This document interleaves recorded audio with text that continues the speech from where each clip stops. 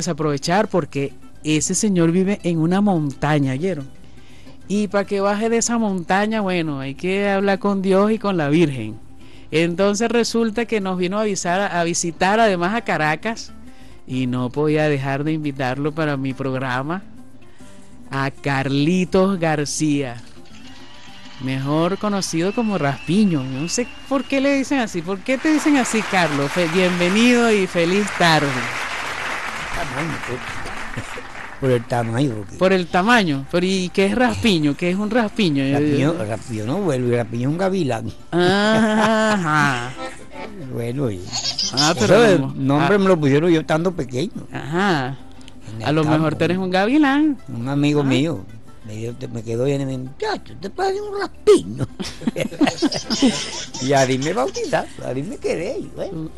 Porque tú eres un gavilán, porque además tú, bueno, vuelas. Tú vuelas porque tú eres un hombre de verdad que trabaja muchísimo, que hace de todo. Carlos siembra café, siembra cacao también, ¿no, Carlitos? Mm. Siembra maíz, siembra de todo. Cuando dije que vivía en una montaña es porque él tiene allí su siembra. Además el café es buenísimo, les digo. El café es espectacular porque lo he probado. ¿No trajiste, por cierto? No, no. en este viaje no trae porque todavía no. Ya Todavía te- no está. Bueno, iremos. Yo me prometí, Carlos, que yo voy a ir para allá, para esa montaña. A lo mejor hasta me voy contigo ahorita. Ojalá, Dios quiera. Bueno, de repente tendré que esperar sentado porque parado yo creo que me voy a cansar. No, no, no. eh, Se me ocurrió ahorita. Vamos a ponernos de acuerdo porque ya estoy de vacaciones. Este y Carlos, además es un extraordinario joropero oriundo de, de, de, de la zona oriental. Ahorita le vamos a preguntar puntualmente y específicamente dónde nació y todas esas cosas. Pero Carlos es un extraordinario ejecutante de, de los instrumentos europeos, de la mandolina y sobre todo de la cuereta, que es el acordeón de botones, que como sabemos eh, es en esos dos lugares endémicos del país, bueno, eh, Oriente, usaron todo lo que le cayó en las manos, todos los instrumentos que le cayeron en las manos a los orientales los usaron para hacer joropo. Eh, y entre ellos, bueno, este instrumento que sabemos no es tradicional de nuestra música, pero tradicionalmente se hace joropo en, en Oriente. ¿Dónde naciste tú, Carlito? Hablando allá En Santa Fe. en Santa Fe. Ajá. Puntualmente en Santa Fe, Santa Fe de Cumaná, Sí. Ajá. Eh, Estado Sucre. Estado Sucre. Santa Fe de Cumaná. De ahí me llevaron para. Para esa montaña donde tú dices. Ajá. ¿Y cómo se llama la montaña? Río Blanco. Río Blanco.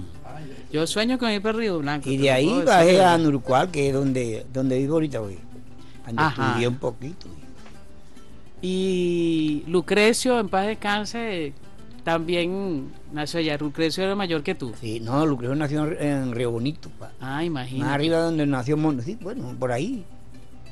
Eh, Río Bonito nacieron ellos. Yo nací Lucrecio fue maestro tuyo y de Mónico, Ah, ¿no? No, yo Ajá. no, bueno, yo soy del pueblo, porque yo nací en Santa Fe, la, la- Claro, la capital de, de Río Blanco y de, y de Río Mire, Bonito. ¿será que tocamos un golpe de arpa para empezar para no para que no me rape tan rápido? Ah, bueno, vamos.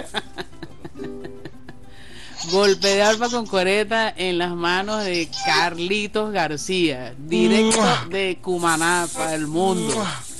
嗯。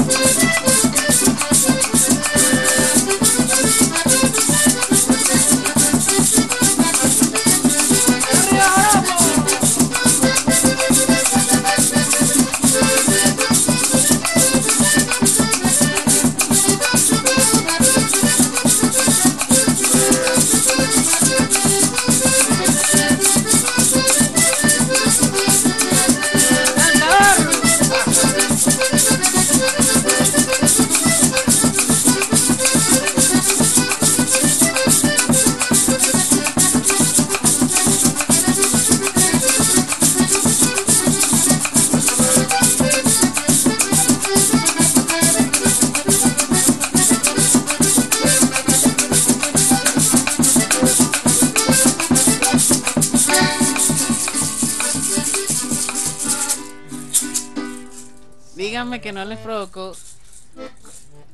Díganme que no les provocó bailar. Qué cosa más sabrosa, Carlitos. Joropo con cuereta. Y escucharon ese cambio que hizo el Carlito para el estribillo. Ese es el cambio para el estribillo. Ese es lo que se llama cambiar para estribillo. No, no, chicos. Mira, Carlito, cuéntame cómo empezaste tú con, con la música, con el acordeón, con, con toda esa historia de la familia. Pues. Bueno, al lado de mi hermano. Era una parrandía por ahí, yo iba, me sentaba ahí a poner cuidado, yo no tocaba nada, me ponía a poner cuidado ahí. Ahí me dormía. Ahí me agarraban, me. Ahí me agarraban, me llevaban, me acostaba. ¿eh? Me paraba otra vez y me volvía a sentar. en, tocaba era, en ese tiempo tocaba era bandolina. Tiempo comenzó a comprar una corioncita, unas corioncitas que venían chiquiticas así, con una, una chapaleta que le daban para, para que la corión donara. Yo se la robaba. Decía por qué que yo la, la dejaba embotada en una cobija, en una, una sábana, y eso la tenía como un día. Y yo, y cuando iba por qué yo, a la robar y comenzaba a dar. Cuando yo veía que ella venía, se la volvía a tapar ahí, él no sabía si yo la agarraba. Ella- ella Llegaba que se paraba, comenzaba a ver. Que de garrazo, cordón, se ponía a tocar, pero no veía nada. Una vez ya tanto tiempo ya. Yo era el que lo acompañaba con el 4. Ya que él también era medio sinvergüenzón. Ya, Perdía con las mujeres, entonces ya aproveché y agarré la corriente y me puse a, a, a tocar. Cuando llego, quedó viendo, parado. ¿Y tú tocas? Sigue pues. Sigue porque yo me voy. Se salió, tú sabes. Y yo quedé tocando. Ahí amanecí. Bueno, desde ahí, eso fue como en el 78, por ahí más o menos. Imagínate. Bueno, y entonces después, ahí seguimos, pero en parranda, ¿me entiendes? Como en el 81, 82, por ahí, llegué a un grupo a Puerto La Cruz, yo lo conocieron, Tinacha. Claro, cómo no. Emblemático. El grupo Tinacha. ahí co- como cuatrista. Después, ese grupo se desmoralizó, pasé con Chico López, ahí entonces como acordeonista. Ahí me compraron un acordeón. Me decía, pues yo no tenía. ¿Cuántos años tenías? Más o menos ahí tenía como, como 25, güey. Ah, O sea, como 22, 25 años por ahí tenía ya. Ah, y después entonces con Lucrecio, porque ya sacó su grupo Lucrecio, un muchacho. Ahí- ahí- pero ahí andaba yo con él, era como el cuatrista. Y cuando él se cansaba era que, ayúdame aquí mi hermano. Y así, pues, de ahí para acá. Entonces me vine para Barcelona, estuve por ahí por, por el Tigre, con llama San José, con unos señores que llamaban Erasmo, Ricardo y Medardo, un concuñado. Ellos también tenían un grupo de bandolín, guitarra y. Y Medardo como una conocita pequeña, y entonces era acordeonista era yo. Ah, no, ahí estaba grande ya, pues ya. Ya me, ya me, me- ahí me solté. Bueno, y de ahí, bueno, comencé a. Entonces cuando me vine para acá, para Caracas con ustedes, que, pero. Así tú sabes, empieza a pelear en parrando, porque las parrandas es que le dan a uno la. el principio para claro, la, la veteranía, la Mm. veteranía. No, buenísimo. Aquí estamos también con, con mis hermanos de, de el grupo Estribillo, Epifanio Laya, mejor conocido como Pipa, y Julián Laya, que siempre, bueno, estamos en conexión. Julián siempre está pendiente de. Yo lo tengo encargado allá de los niños de el grupo en porque todos ellos viven en Santa Cruz del Este. Tanto eh, Mónico, Mónico lamentablemente no pudo venir porque está con una, una pequeña afección de salud. Y Rosa María, todos ellos viven en ese sector. Maestro Luis Raposo, también hacemos votos por su buena salud. Y bueno, Julián lo tengo allá de, de coordinador de, del grupo allá. Cuéntenme aquí el encuentro con, con Carlitos que teníamos esperándolo. De verdad, estamos, estábamos esperando con muchas ansias y con, con mucho deseo eh, la llegada de Carlos. Cuéntame cómo conocen, eh, cómo, cuál es su primer encuentro con Carlos, hablando de todo. Mira, eh, Carlos en realidad tuvo Santa Cruz un viaje de años, pero en realidad no, no. Yo iba mucho a la casa de Rosa, eh, Juana Luisa, la hermana de Mónico, Ajá. que todos los fines de semana hacían esos joropazos allá y conocí al maestro Juan Silva, gran amigo, maestro, y Lucrecio, que siempre los veía allá, pero no los relacionaba.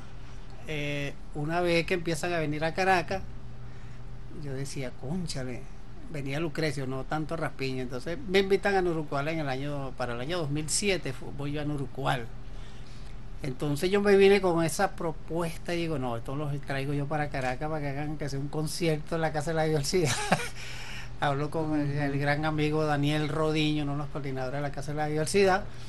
Me lo consigo una, una noche en el metro. Mira, Daniel, te tengo una propuesta por aquí, unos muchachos allá, compañeros de Mónico, primos de Mónico, de allá en Uruguay, pero no tienen nada grabado, no tienen nada. Pero Julián, y entonces como, no, no, son buenísimos. Le insistí tanto, tanto, tanto que un día me llama de julio, recuerdo, ese el año ya 2008, me dice, mira Julián, vienen para tal día de julio. Ok, yo contento, se aparecen estos, como dice Milagro, estos monstruos de hermanos, porque son, son mis hermanos. Y se presentaron ahí en la Casa de la Universidad un conciertazo muy bueno, muy bueno, por cierto. Bueno, Y bueno. le dice que son familia de Mónico, ¿cómo va a dudar eh, de, de eso? Claro. Entonces yo le decía que, por cierto, Mónico también eh, tocó, cantó. Claro, y yo tocó unas maracas ahí espectaculares. Sí, yo, yo hice uno que otro pasajito ahí con la caja porque estaban estos muchachos, estaba Carlito, que es hijo de Carlos, estaba el, el gran amigo Chapulín, que es un cajero excepcional de allá en Uruguay, y decía, no, no, yo no voy a tocar, toquen ustedes, toquen ustedes. Pues, me- mira, me llamaban, y toqué como dos, tres oropos, creo que ahí, ¿no? Rapeña, más o menos tres oropos. Conmigo, dos, sí. Sí. Entonces, porque yo, yo quería ir nada más a ver un espectáculo y voy emocionado. Entonces, de ahí, bueno, y las veces que yo voy a Uruguay, tengo tiempo que no voy, mira, no me quiero venir porque eso, eso es un oasis. Eso es un oasis, eso es un paraíso. Mira, algo tan bonito, tan bello, así, de decirlo así, tan contacto con la naturaleza, el río ahí, como dice, hablando a Patemingo, sales de la casa y te vayas en el río, tranquilito. Ahí, bueno, pues de contacto con ellos. Y Pipa también, mi hermano, que ha tenido oportunidad de ir para allá. Conocimos a la, la mamá de Mónico, a Secundina, conocimos casi toda la familia de ellos allá. Cuéntame, Epifanio, ¿cómo es tu, tu cuento con las maracas? Este, buenas tardes, gracias por la invitación, Milagrito. Y a todo aquí el personal, saludo. Este, no, mi encuentro con Rapiño o Carlos fue una vez que estábamos nosotros en Santa Cruz, eh, más confianza cuando nos conocimos con, en la agrupación de Mónico Márquez. De ahí empezó todo ese ese bochinche que tenemos ahorita nosotros aquí en el Juego Oriental, aquí en Caracas. ¿sí? Y bueno, y también como dice mi hermano Julián, cuando estuvimos allí en Uruguay, bueno, yo fui que, que como tocador de maraca. Y resultó ser de que yo fuera el principal bailador allá. bueno, dando el pisotón a esa, a esa mujer que bailan buenísimo. ¿sí? De allá fue donde viniste bailador, Sí, de allá fui. De allá fue cuando... sorpresivamente. Sí, de allá fue donde me foguillé. Y bueno, y eso es. Esa gente allá es maravillosa. La hermana de Mónico, toda esa gente, todos son bailadores. ¿Ah? Y el que se equivoca, bueno, lo tumban a uno ahí, las mujeres. No sabroso. Mira, Ra- Carlito, vamos a hacer otro y vamos para anunciar la radio seguido de eso. Sí, Benito. Ajá. Hombre, hombre, Dale que allá vamos.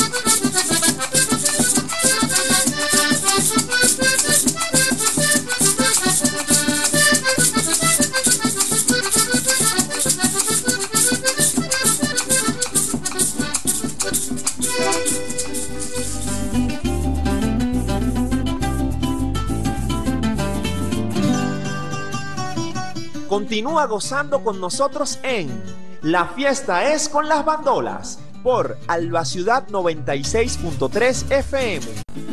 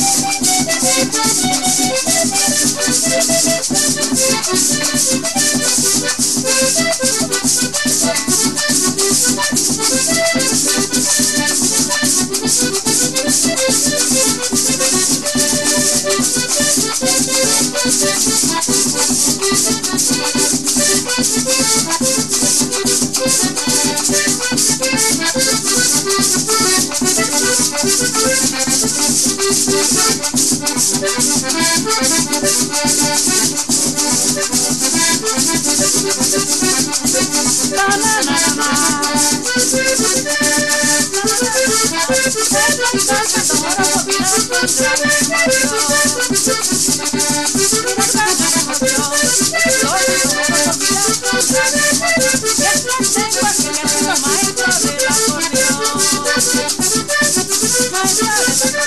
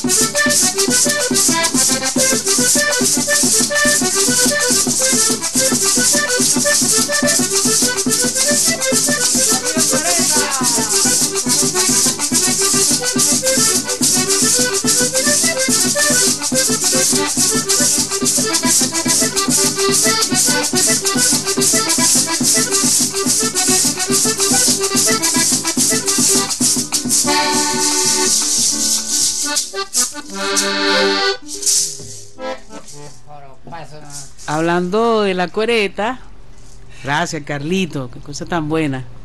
La cuereta es el acordeón de botones, el acordeón alemán, eh, de origen alemán, eh, que también se usa mucho en Italia.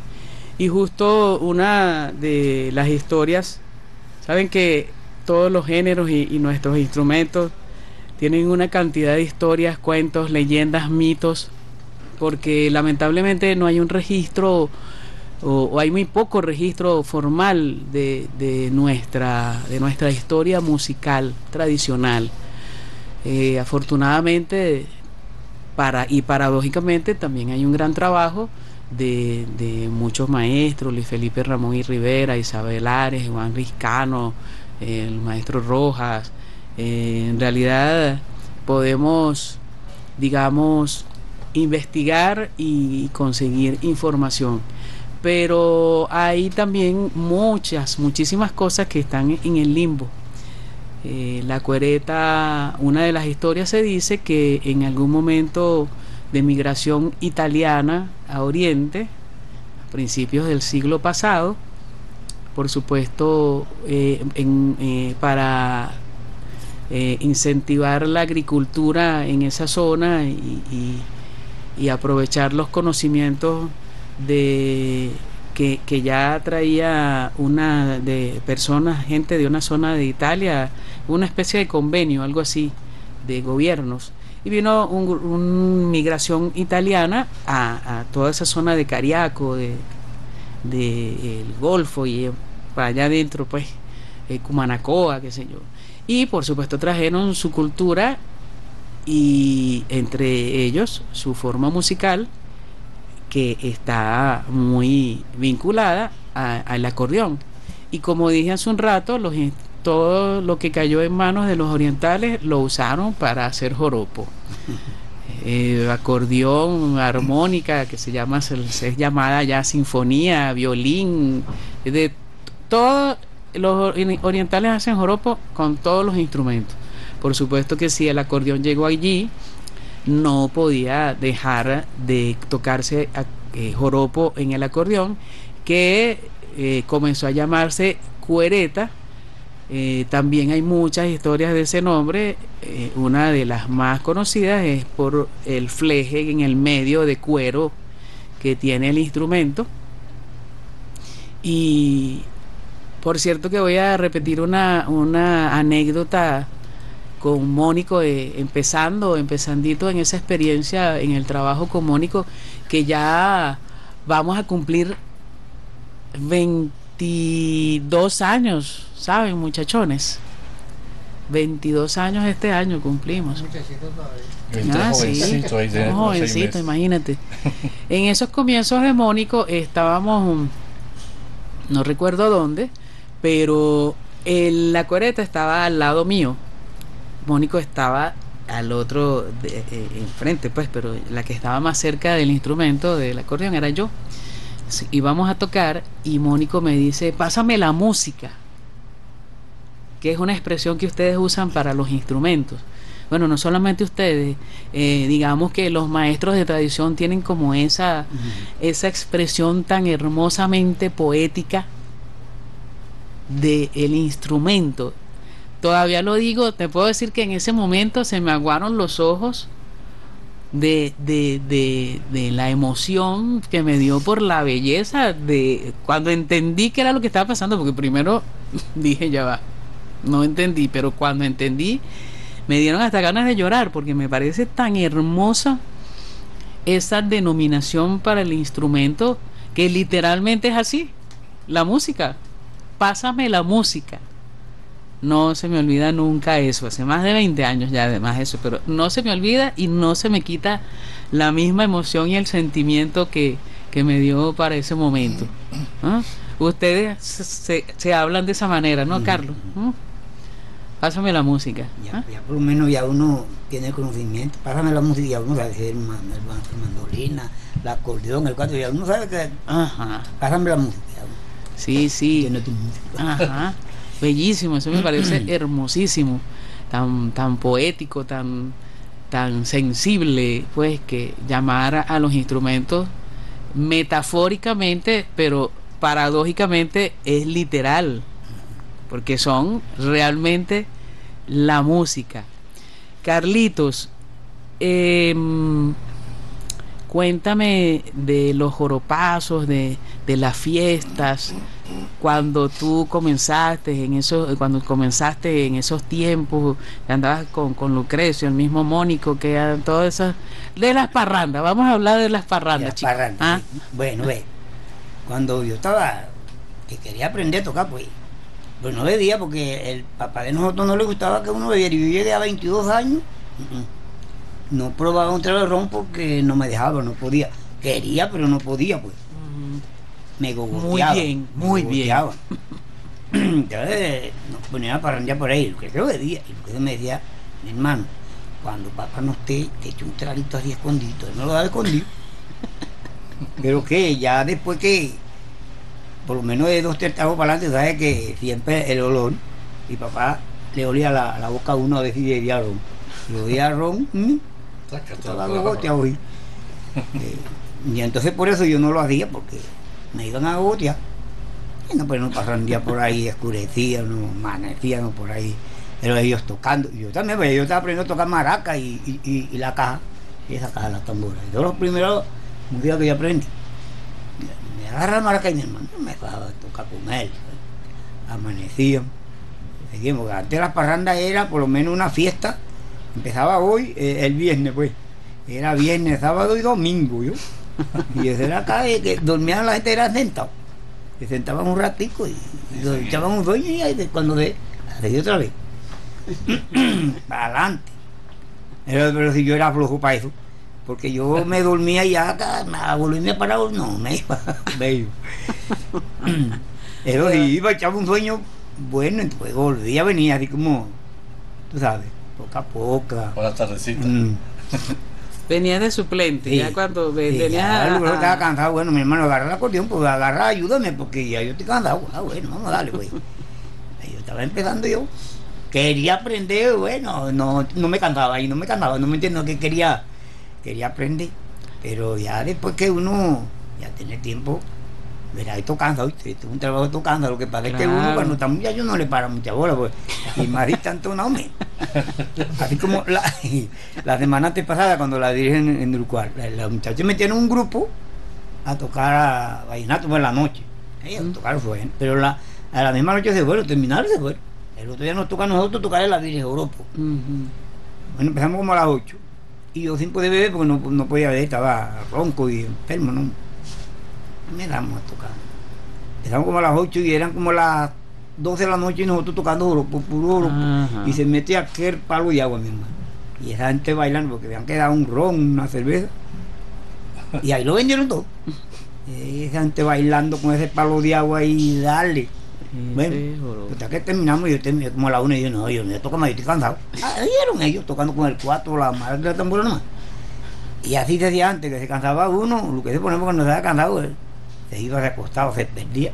Quedamos todo delante parrandeando con maraca, tambor y cuatro. O más que todo, en vez de cuando la sinfonía era, como uno le dice sinfonía ya, la, que era sinfónica, ¿no le? Ujú. Ahí uno le dice sinfonía. Yo estaba aprendiendo también, digo, ya, agarra esa sinfonía. Me dio el otro día con los labios pelados.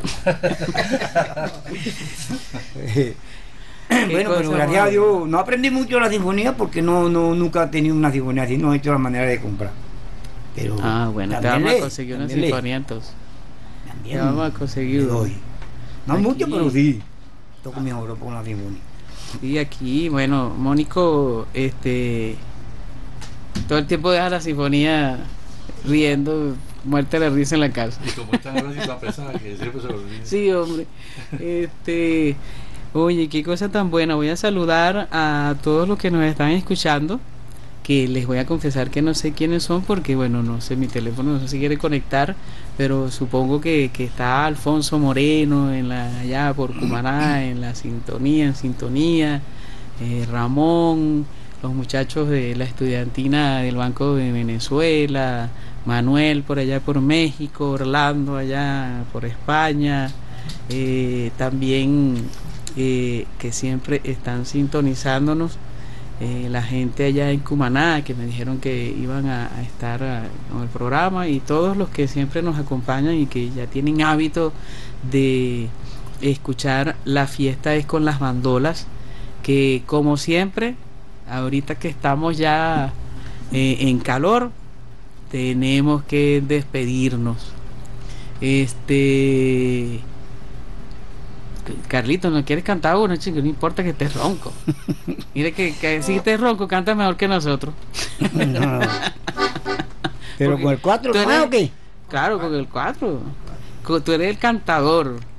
Y a- aquí tenemos que disfrutar de ese canto genuino del joropo en su programa La fiesta es con las bandolas que llegó a todos gracias al poder al Ministerio del Poder Popular para la Cultura en la figura del ministro Ernesto Villegas em, en la dirección de la radio Mari Peñán eh, en la producción del programa María Riechi y en los controles Benito Palacios. De verdad, gracias a todos por acompañarnos. Gracias, Carlitos, Carlos García, Raspiño, por, si acaso, para que no, los que no saben que se llama Carlos García. Traído, que ha venido directamente de, de Cumaná a traernos esta muestra extraordinaria, genuina y pura de nuestro maravilloso joropo oriental en, en- en la cuereta, en el acordeón. Carlos, acompañado de los hermanos Laya, Epifanio, Pipa y Juliancito. Gracias de verdad que fueron además los artífices de esta reunión. Julián siempre pendiente y Pipa. Gracias a ti. Vamos a enviarle saludos a los otros integrantes de, del grupo Estribillo, votos por la salud de la buena salud de Mónico, de Luis Raposo, de Rosa María que anda por allá por Oriente, Rosa María Hernández, nuestra cantadora y bailadora, Jerónima Muñoz, recordando, comenzamos que no hablé de él, comenzamos el programa como siempre con otro de los estribillos, nuestro siempre recordado y amado José Ignacio Hernández, Ignacio Hernández, constructor de, este trabajo aquí en Caracas con la música oriental. eh, en nuestro recuerdo siempre, Ignacio. Los bailadores, Arturo, eh, María Eugenia, Henry, eh, María, eh, un poco el poco de María que están ahí de, de bailadoras, de verdad también recordándolos. Y nos despedimos con Carlitos cantando nada más y nada menos. Es un lujo. Feliz tarde, mis amores, bendiciones, gracias por su compañía.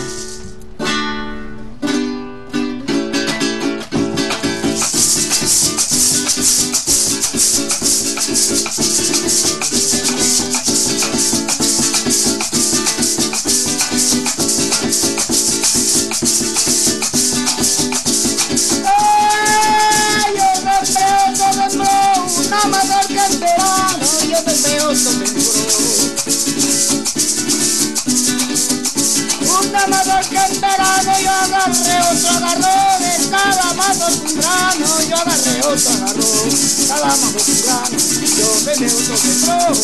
Un amador que verano yo agarré otro agarró cada mazo un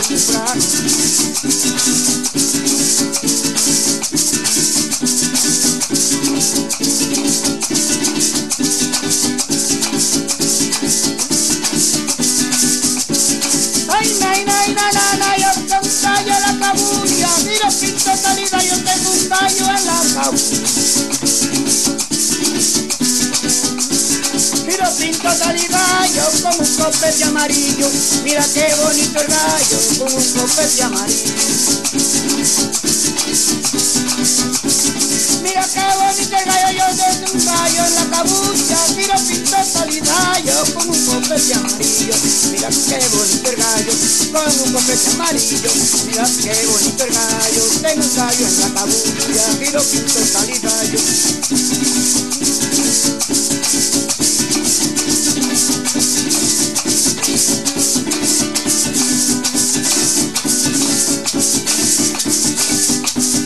Ay, nay, nay, na, na, na.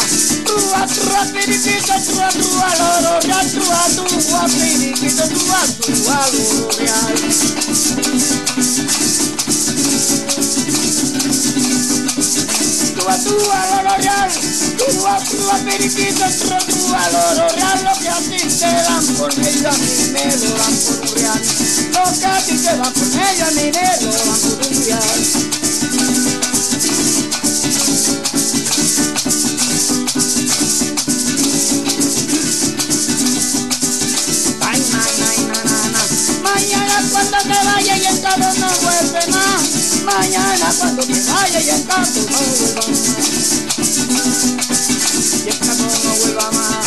Me eleva mucho la luz y a mí mira por detrás. Me eleva mucho la luz y aquella mira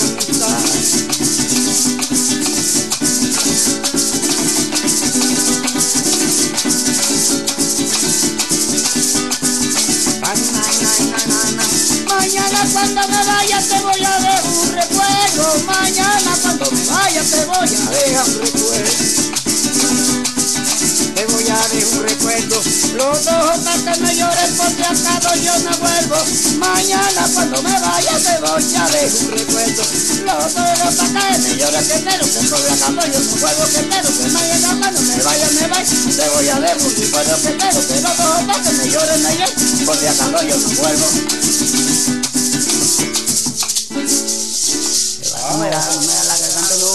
No, da para. Feliz No. tarde. No, no, muchacho, por Dios. Estoy que se me salen las lágrimas hoy. Sí que lloro. Te esperamos el próximo jueves de 2 a 3 de la tarde para disfrutar junto a los maestros Alexander Lugo y Milagros Figuera.